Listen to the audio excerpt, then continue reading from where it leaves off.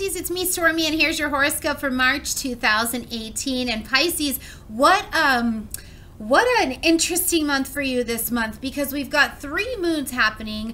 Two of them happen to be full. One of them is new. One of them is in your sign. You're already a water sign. So this feels like a very movable month for me. But while it feels like such a movable month, for you. I actually feel like it's a really strong month for you to be grabbing onto a grasp of your identity and your talents and kind of this no BS attitude where you are willing to go out and demand your value a little bit more. And I love that for you. I absolutely love that. So let's jump in and talk this thing through.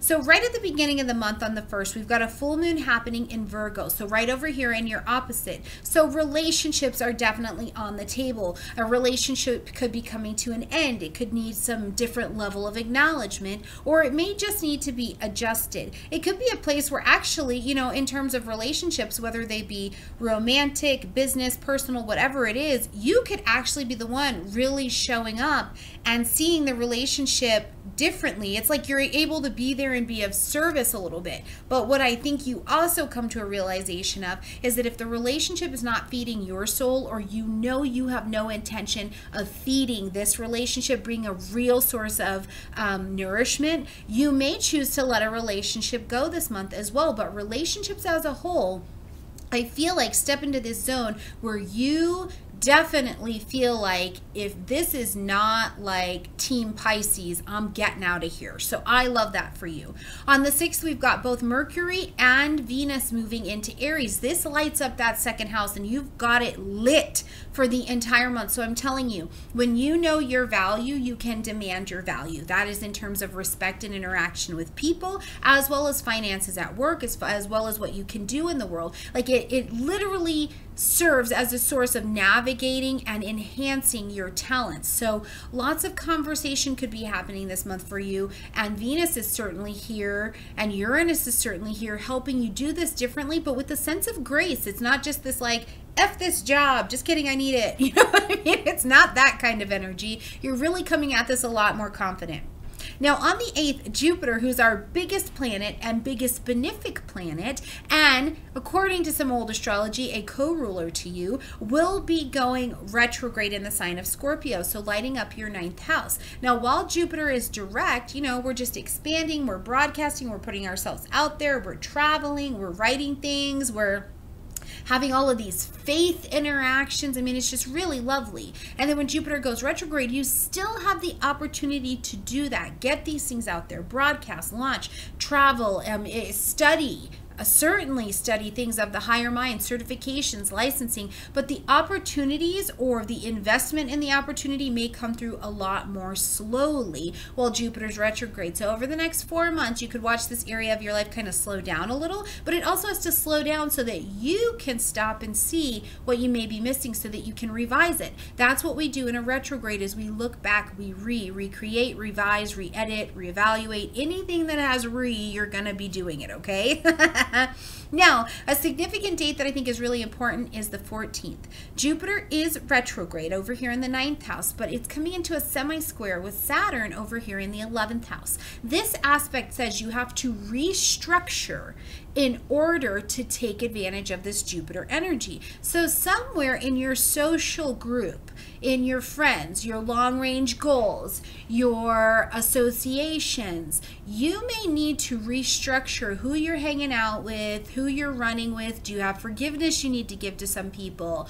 Um, whatever it is, Saturn is going to ask you to ground down and restructure and make firm this 11th house stuff, which includes technology as well. Where are you at in your technology? It is nobody's fault that you are not connecting with the outside world because you don't know how to use your technology. You've got to restructure in order to take advantage of broadcasting yourself out, having a different interaction, learning and teaching something differently as well.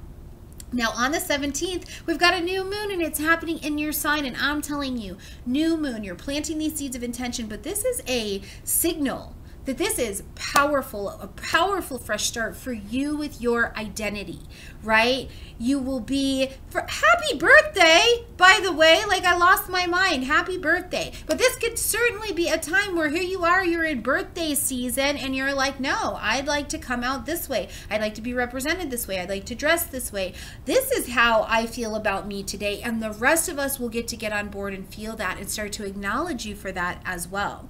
Now, on the same day, on the 17th, Mars is moving over into Capricorn. So, again, into this 11th house space, you've got a new alignment. When you start to show up different, a new group of friends come in. And I always talk about it as the cast of characters in the season of your life because I like to think about life in terms of TV. So, you know, maybe on season seven of Pisces Alive, um, you had all these groups of people that you ran with, and they were good for then. And some of them have had to fall off now because now on season eight, you know, season 2018 of Pisces Does Life, you have to get your next group of friends, your next soulmates to come in to help you learn at this part of the journey. And you get to be a new soulmate for somebody else at this part of the journey as well. So, beautiful day. But it is a great day too if you needed to go out and be social, networking for work, networking personally, studying something about your technology. Wonderful fresh start energy, okay? Now, on the 20th, the sun is going to come into Aries. Um, we're celebrating the brand new astrological year. We're moving forward. It's just a fresh start kind of time. But on the 22nd, we've got Mercury taking its retrograde. Now, Mercury retrograde loves to, one, bring back old people into your life, which is great because maybe you have something to heal with them. Two, mess with anything and everything involving communication, including technology. So you may be a bit more frustrated this month in trying to push something technologically forward, especially after the 22nd. Don't give up, just slow down. Um, communication devices, cars, any of those type of items that involve communication, you could see a slowing of it. But for you being here in the second house, it could also be maybe you launch something out this month, Pisces, and you're like, yes, I feel it. This is the thing. And the income comes in slowly or is delayed, right? Maybe this is a time it's just after birthday, you're feeling good, you're feeling fly, and then you step out and something kind of cuts your self confidence short. Don't give into that crap. You have got it together. Take your value, take your talents. You may have to be on a little bit of pause, regroup for a minute, but then you'll be ready just here in April to put it back out there, okay?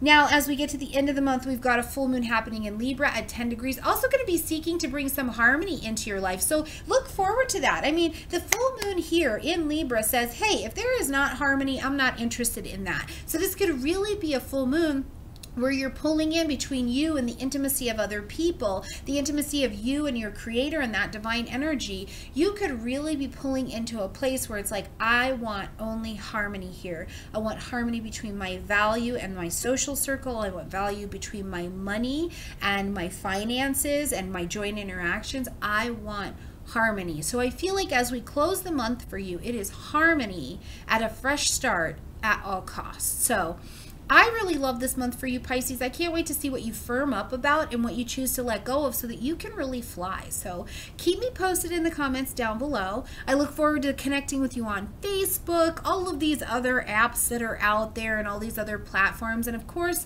$3 Thursdays, Astrology 102, the $36,000 subscriber, with $1,000 subscriber, 36,000 subscriber deal. So I look forward to you taking advantage and connecting with you in any of those ways.